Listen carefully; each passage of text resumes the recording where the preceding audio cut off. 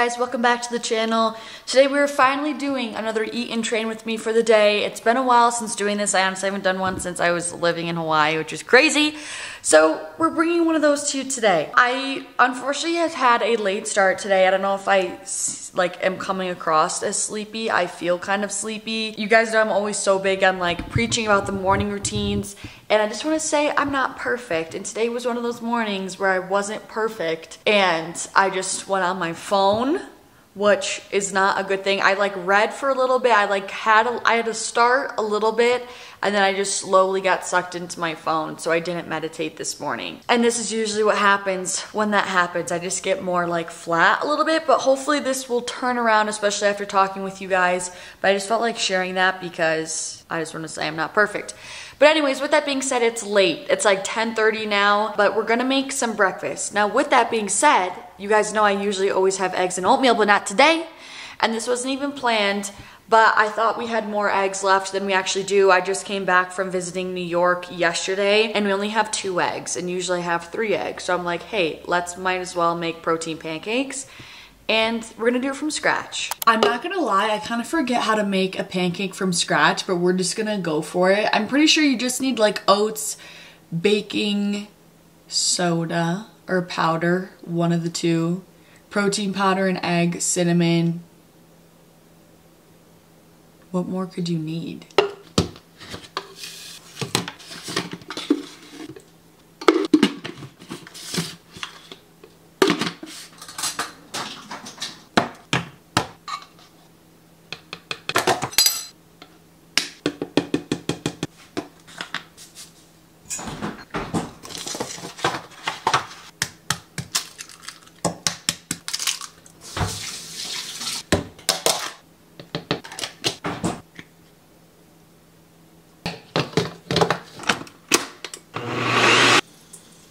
Alright, I'd like my pancakes to be like thicker. I don't like when they're watery. So I think this consistency should be okay.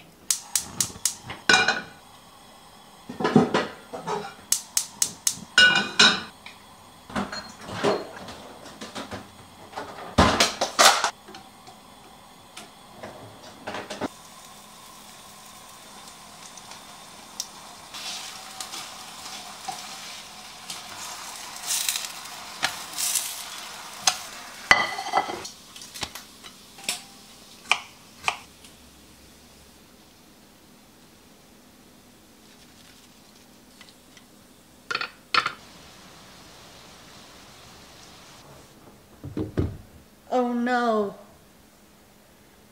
I got so much stuff on my shirt. Oh well.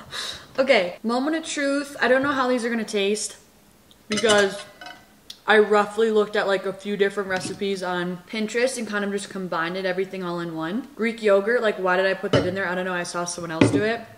They honestly look fluffy, so we'll see. Using some maple syrup, the protein powder makes it have a little bit of a weird consistency, like they don't really break super well, like they're crumbly, but let's see.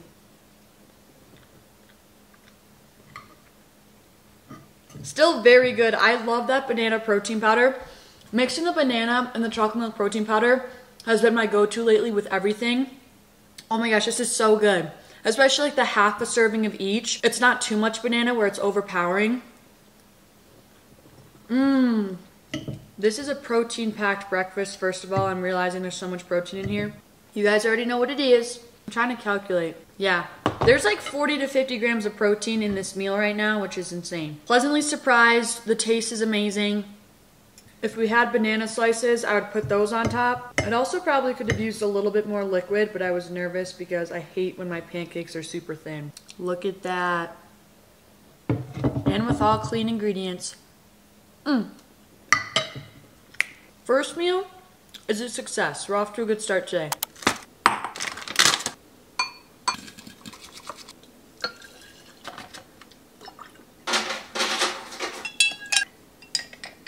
Alright, I've never put coconut water in here. Let's see what it tastes like. It's kind of a good little natural sweetener. Not bad. All right, so we're hungry, hungry. My eating schedule is a little bit off today, but that's what happens sometimes. And I need an appetizer before I actually eat something. This popcorn, watermelon hibiscus, lesser evil, it's the goat. Mmm. Mmm.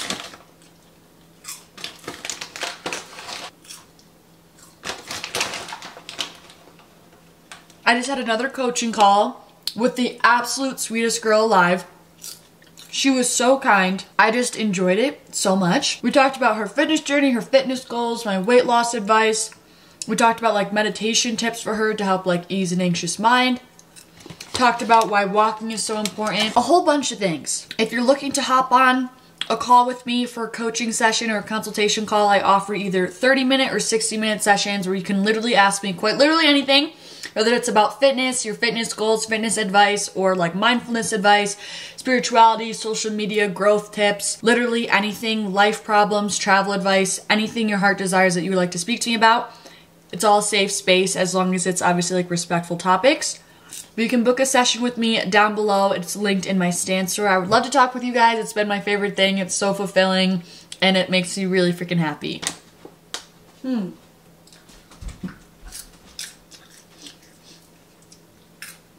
Okay, so I know we started off strong this morning with like a fun, different breakfast. I can't promise that's what's gonna happen right now for lunch.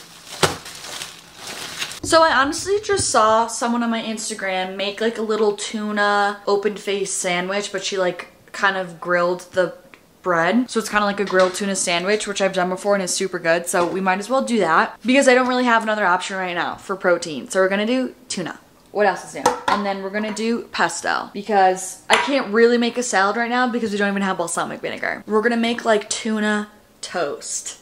Me trying to make it something cute.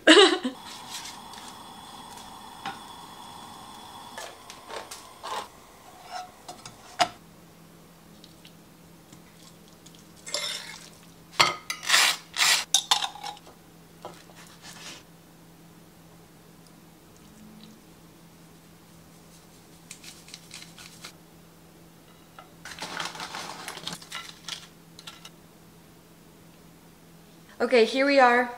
Same spot. Still have chocolate on my shirt. Hair is gonna cover it. I added some siete salt vinegar chips because they're delicious. And some cukes because I'm honestly craving vegetables. However, we did not have the resources to make a salad. So we'll have to do that tonight for dinner. Here she is. She's looking stacked. Here we do a crunch test. Mmm. I love sourdough bread. The bread I have is so good. It's only like five ingredients. Mmm. Wow. Exceeded my expectations. Oh, baby. Wanna know what these are? Sun-dried tomatoes. This dish was made for sun-dried tomatoes. Sun-dried tomatoes and pesto are like the dynamic duo. The friend that like everyone likes, like always a safe invite option, they're always going to elevate the experience. I digress. Today is still going strong with the eating options.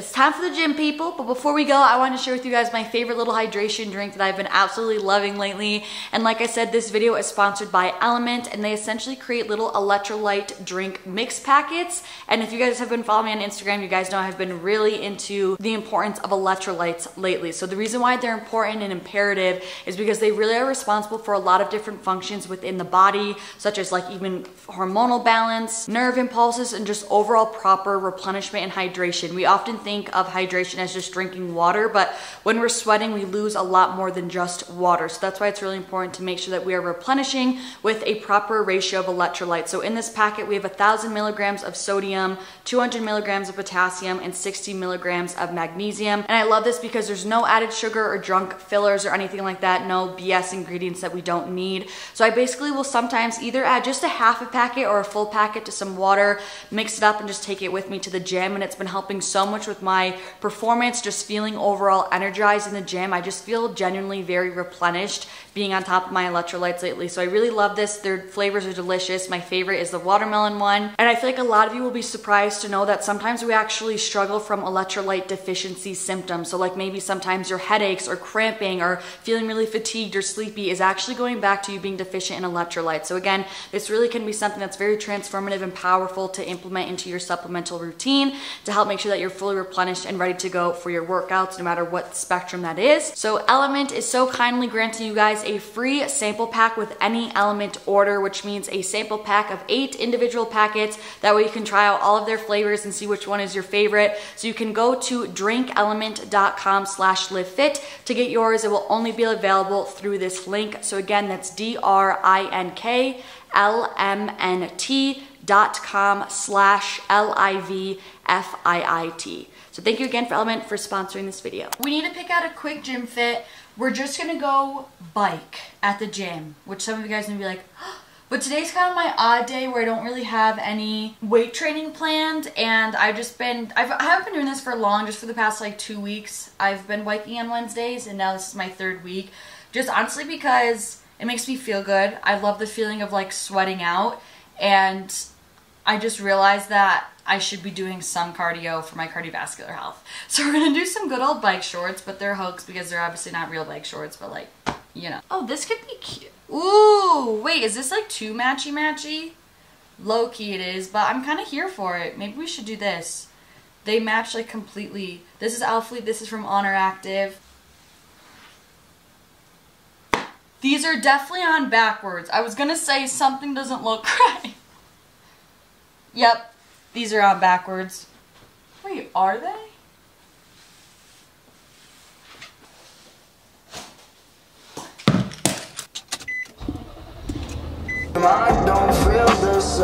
Alrighty, I'm at the gym, but I just filmed two TikToks and they were me going over my fitness journey excursion, so they took me a long time. And so now I'm like, oh, I should have my protein bars a snack now because by the time I go home and eat after, it's going to be like really late. It's going to be like 8 o'clock, but I don't want to eat the protein bar and then be on the bike and then have my stomach hurt. Do you get what I'm saying? Well, I think I'm still going to have a little bit of it actually because I want to make sure I'm eating enough.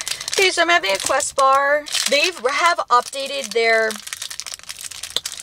their, their, their, their, their, mm, the formula concerning their recipe, so much softer. It's like cookie dough. Mm. I finished my electrolyte mix.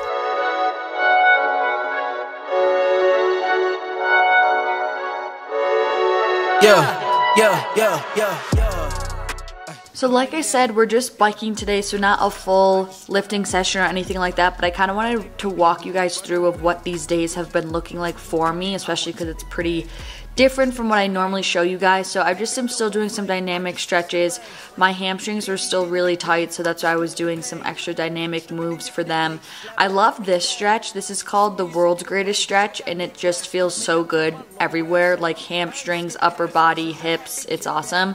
But so I like to start with this just for, you know, getting some mobility work and still getting loose before I hop on the bike, which is what you see me doing here. So always adjust the seat. So I use a bike that has like pro programs already in it, so I'm not necessarily coming up with my own bike workout. So I just want to show you guys what it looks like. So essentially I choose 30 minute options and then I look through them and see which one is kind of my vibe for the day. I will say like they're usually interval based so there's you know bouts where it's more difficult and some are more steady state and some are really mellow. But i find that i get bored during those 30 minutes if i don't have a lot of fluctuations and different resistances and stuff throughout the workout. So i chose one that was decently mellow. I didn't have a ton of really high bursts of like super super high intensity but i chose one where there was a lot of fluctuations just to help the time go by faster and keep me interested.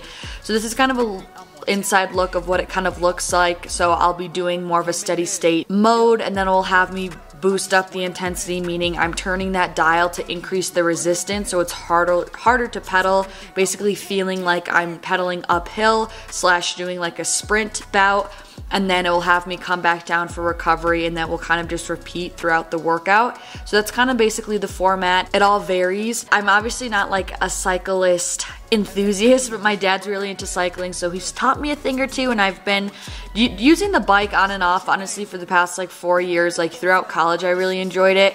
So it's easy to have your legs kind of feel burned out when you're constantly pushing down with your quads. So it's important to alternate between also pulling with your hamstrings as well for and focusing on the second half of the rotation as well will really help your legs from burning out and being able to stick with it over that long haul. I was super super freaking sweaty.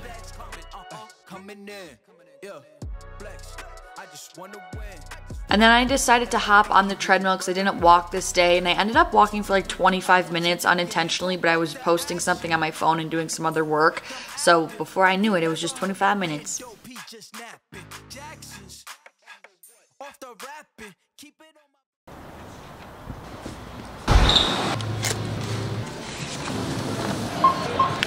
PIN pad to complete transaction. Thank you for shopping at Whole Foods Market.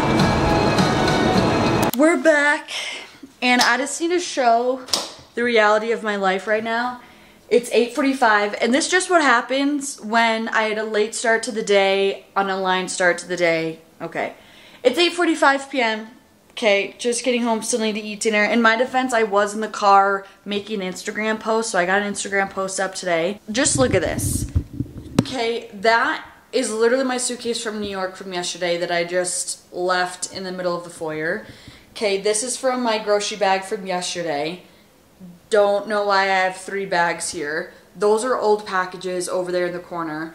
This, that's literally my makeup bag that I took out of my suitcase today. This is an unboxing that I did for TikTok from EHP Labs. And the kitchen, I haven't done a single dish today which I don't like that. Gives me agita. I said this on TikTok and I put it on my Instagram story.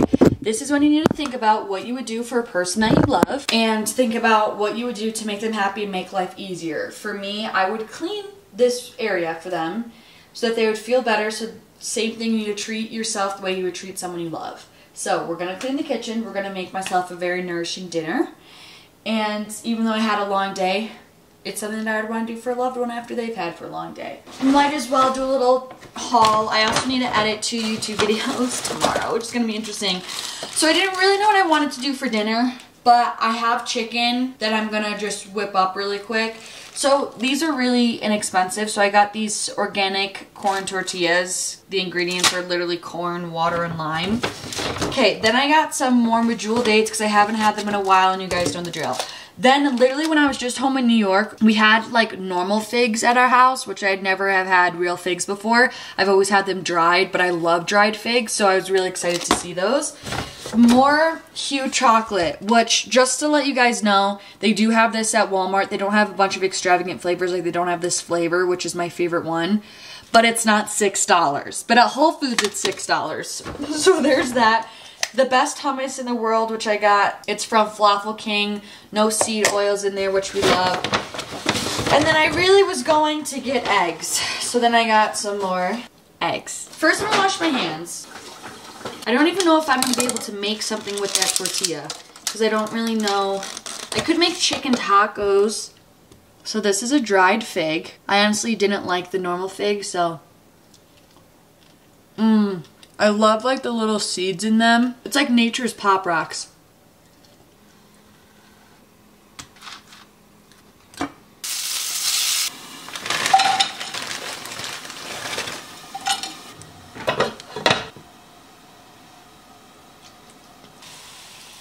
This is how I do a homemade taco seasoning. Step one, cumin. Be generous with the spices, you guys. You can literally make anything taste good. You just need to make sure you're putting a lot of spices. Numero dos. Chili powder. Also generous. I also have some cilantro. I feel like this doesn't really do a ton to the taste, but I just feel like it makes sense to put it on there. Then we have pink Himalayan sea salt, garlic powder, might as well do a little bit of onion powder, pretty much the same thing as garlic powder, but that's really all you need. And then for the veggies, I'm just gonna do salt, pepper, and some garlic powder, and then onion powder.